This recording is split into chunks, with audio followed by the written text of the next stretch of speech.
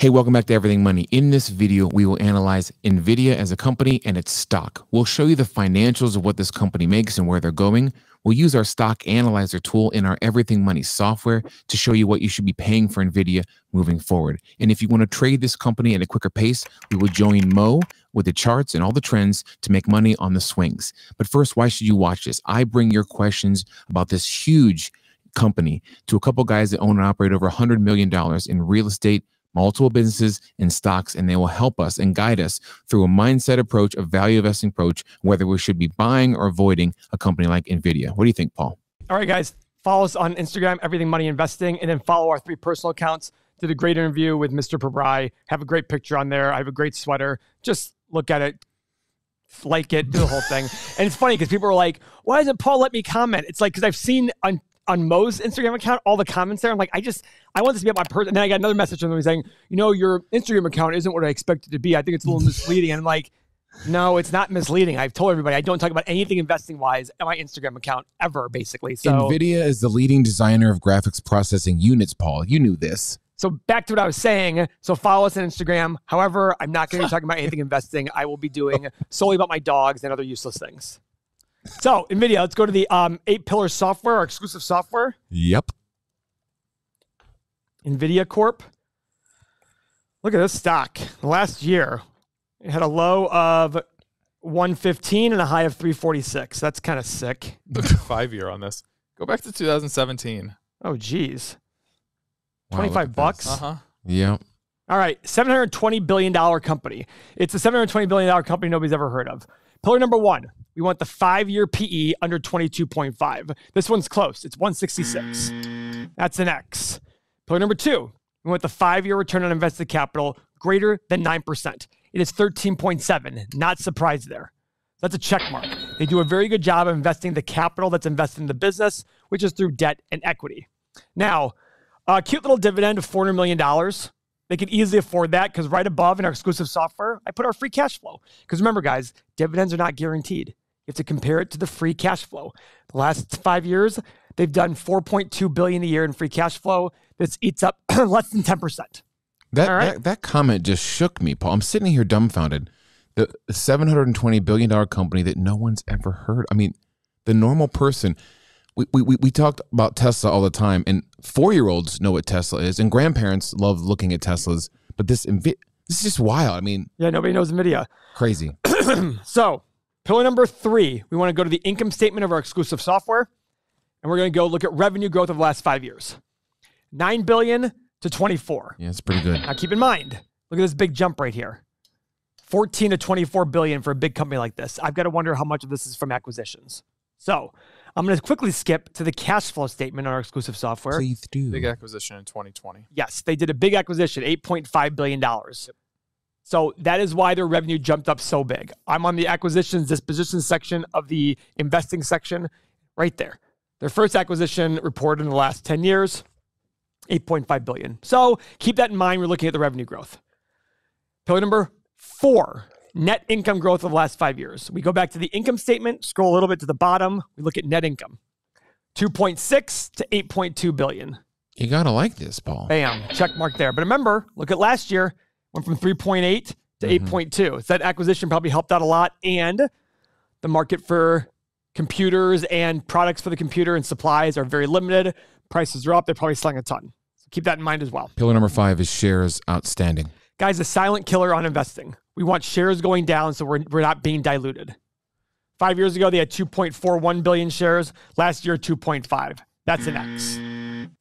So they're slightly, not by much, diluting owners. But 10 years ago it was about 2.5. Today it's about 2.5. I'm not as concerned. They seem like they're probably going to be more responsible. Even though this company is extremely expensive, and I could understand them issuing more shares, they are not doing so. We use these pillars to screen stocks. We want to know do they make money? If we're buying the company as a whole, we will continue with pillar number six, which is their debt. Paul, tell us about it. All right, so the debt. Here's what we do we go to the main page of our exclusive software we go to the five year average free cash flow. Because remember, guys, debt on any company is like debt for you personally. The more debt you have, the more likely you are to go bankrupt. When recessions happen like that, we want the companies that have low debt so they don't get called on them, they don't have financial issues, and they don't have these problems of going under. So we take that five year average free cash flow number, we multiply it by five. $21 billion. So we want their total long term liabilities under 21 billion. So what do we do? We go to the balance sheet of our exclusive software. We scroll to the bottom. 13.2 billion. Check mark there. So just on their average of the last five years, they can pay off their debt in a little over three years. That's pretty awesome. Pillar number siete, Paul. Is it siete? Seis. Okay, go on. Pillar numero seis, cash flow. We want to see cash flow growth in the last five years. So we go to the cash flow statement. And free cash flow, guys, is cash from operations less your capital expenditures. And you can do one of five things with it. You can pay back, you can buy shares, buy back shares, pay down debt, make acquisitions, invest in yourself, and pay dividends. Pillar Okay. number seven is siete, Paul. Oh, we are in siete. We are in seven. I thought we were in got you. six. You're right. Duolingo has failed me. I'm sorry. I thought we were on six. Keep Please, please tell me you Googled the Mexican. No, I'm doing. I'm doing it in my head over here. I'm like uno, dos, tres, cuatro. Okay. Okay, go ahead. You're right. I thought we were on six. I I'm could see him sorry. Four years of Spanish, Paul. Don't mess with me. You know this. All right. Uh, pillar number 22. All right. So I've added this line to our to our cash flow statement because I don't want you guys to do the math of cash from operations less your capital expenditures. 2.6 billion to 7.1. Check mark there. So they are growing their free cash flow quite considerably. Pillar numero ocho, Thank you, Paul. ESPN ocho. Go ahead, Paul. What we want to do here now is we want to we want to get a value for the company as a starting point. So we, want, the we basically want to find a market cap we want to pay for this puppy. Correct. Now, this number doesn't mean it's set in stone, but we picked 20 as a starting point. We take the five-year average free cash flow of 4.2 billion, we multiply by 20, and we get 84.2 billion dollars. Oh dear God. um, yeah, versus 800 billion. Seven. Yeah, seven twenty. But Oh, 720, enough. sorry. Okay. Massive X. Now, guys, it sounds like, oh, Paul, the stock's not going to fall 90%. This is stupid. Oh, there's no chance that happens. Okay, cool. Go do your research about tech stocks in the early 2000s and see which ones fell 90%. Look at stocks in the last 10 years, which ones have fallen 70, 80%. It's possible to happen. At the end of the day, this is just math. Now, here's our eight pillars tab for those of you who don't want to do the math. This is only available in our, in our software. Um, biggest ones here are right there valuation numbers. So I look at this saying, now let's go to the stock analyzer tool. Again, the most powerful, the most powerful part of our software, the one that everybody loves the most. Every investment's the present value of all future cash flows, and those present values are all we don't know what's going to happen in the future. We have to make assumptions. So we go to our stock analyzer tool. We're going to put assumptions in and see what we should pay for the stock today based on those assumptions. So, Nvidia. Let's go a 10-year analysis. Revenue growth. Uncle Mo. 15, 16, 17. Not sixty-four. Uh, well, I was debating between 15 and 65, but I went with 15. Okay. So why 15? Remember, Um, they had a big jump in revenue because of an acquisition. And they're a large, they're a big company. Um, So if we- 15 let's do 15% revenue. Yeah, compare it to what we are at today. So Because what's right um now, what's their revenue right now? the revenue right now is 24.25 billion. That would take them to 98 billion dollars Yeah. In ten years or seven? in 10 years. 10 years. Well, So they would be what's the market size for the remember one thing, right now they're currently one third the size of Intel. So do we think that their that their their revenue is going to be more than Intel's in 10 years for something that's driven more by Intel than by Nvidia? Do you follow what I'm saying? Like in the Nope. PC world, in, in the in the in the world of maybe it is, but I look at it going, let's take out their their acquisition. Okay. Their revenue growth was well under 15%. Taking out their acquisition. Okay. So Boy, my numbers are really different. put them in. Mine are 579. All right. Because I, again, I want to be conservative and buy companies that are selling from far below that. Let's do this. Let's go with let's go with Mo on the five. Let's just do this. Let's do my numbers in the low, 15. and we'll do Mo uh, on the high. We'll do the 15%. Because to me, 15, 16, 17 isn't much different. Okay. For a company that's this big. Mm-hmm. Yeah, if you're getting lost at home, which sometimes I do during the show, is you have to realize when Paul says conservatives, we want to find a company and then buy it for much less than it's currently valued by the world. That's how you make money. So with so many companies out there, we're, we want to find those very few, those bangers that we can buy for far less than they're they're, they're currently priced, which this might And- not be the case. Go ahead, Paul. And Mo and I are discussing revenue growth numbers. Uh-huh. Somebody might sit there and say, Paul, why not zero? I'd be asking the same question. My point is a big chunk of the revenue growth was from an acquisition over the last 10 years. And a big chunk was also from increased demand in the last year for computer products. That alone probably could have led to seven, eight, nine percent of their six of their 21 percent. Oh, you were saying someone might say zero. I'm thinking someone might say thirty percent revenue growth. Well, no, somebody might say to me, Paul, if you want to be conservative, do zero percent revenue. Oh, I growth. see. Yeah. I'm just sitting there saying I do think the chip market will grow faster than inflation over the next 10 years. And inflation's three to three and a half, four percent, five, five, ten, and I'm gonna go high with with Mo's 10 and 15 percent revenue growth. I just don't think that's realistic considering the last two years have been the biggest chunk of the revenue growth over the last 10. That's where I get a little confused going, well, it was an acquisition and it was a big chip market, which I don't think is sustainable. Profit margin. Go ahead, Mo. You think the profit margin will stay the same? Probably, pre- probably pretty close to the 10 year number. Yeah. My, I was going to put 25, 26, 27. Okay. Same with free cash flow. Yes. PE.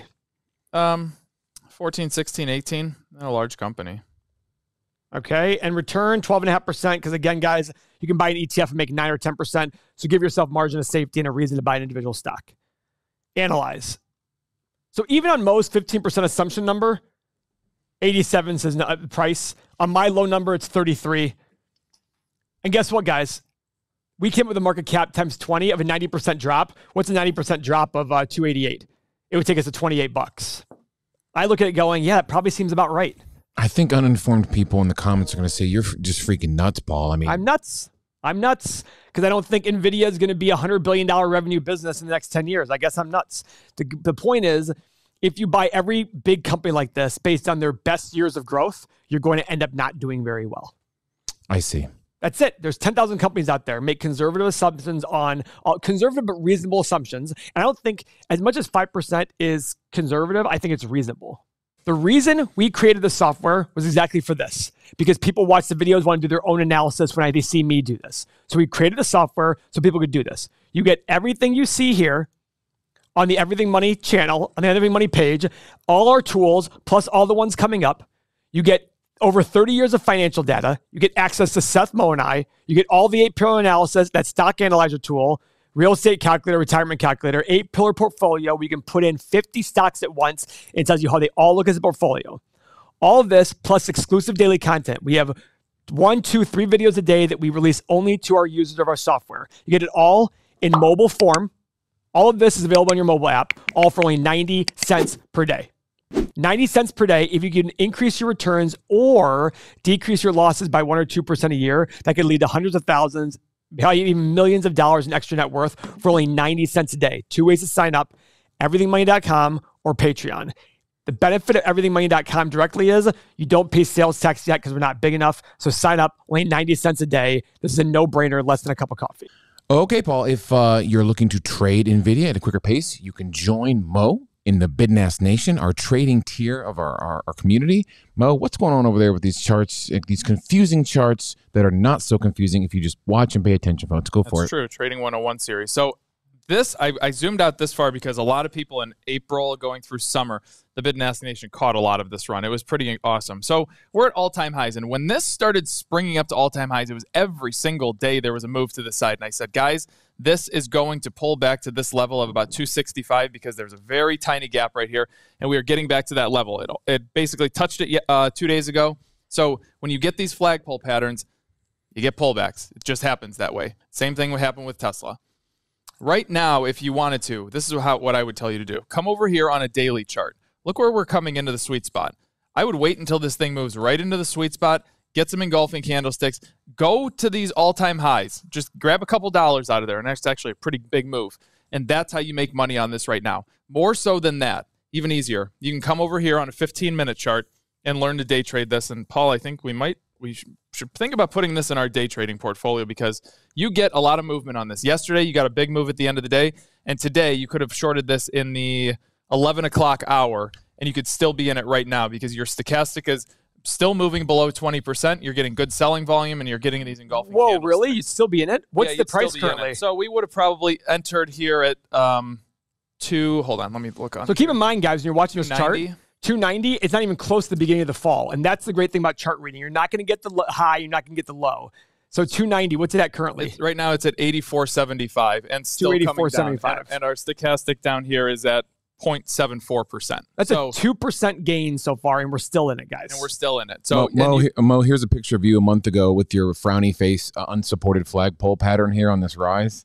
on uh, on uh, Nvidia. Nvidia. Yeah, here you are saying that. So it's so that's funny. uh, that's so funny. Let's go back to the the, the long term chart and look. if you're interested in trading, Paul has started a new series where he's putting up five hundred thousand dollars of your own money to learn. Is it momentum trading, Paul, or no, uh, day, trading. with? So, so stay tuned on the channel as Paul trades half a gajillion dollars. Go ahead, Mo. There you go. There was that there was that rise and here was that fall. It came right back down. So if you wanted to do it, make it more accurate, there it is. So that's what happens. But there's different ways to trade this stock. This is a very good stock right now because it's so volatile. It can give you that give you those big days of gains, big days of losses from a day trading perspective. So if you want to learn how to day trade, if you want to follow Paul and myself on his little day trading journey, come and join the Bid and Ask Nation. You get the Trading 101 series, which gives you all of the rules that you need to be successful. The Employed Trader series, which is six stocks that I go through every single day with you and give you daily updates. My exclusive monthly Saturday seminars in the Discord community of 950 plus people.